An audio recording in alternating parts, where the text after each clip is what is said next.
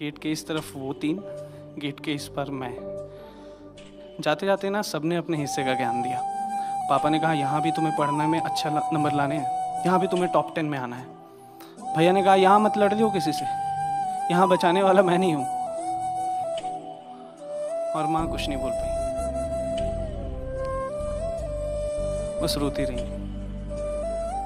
और जाते जाते बस इतना कहा कि वो जो एयर बैग है ना, उसमें टावेल के नीचे लड्डू रख दिया है।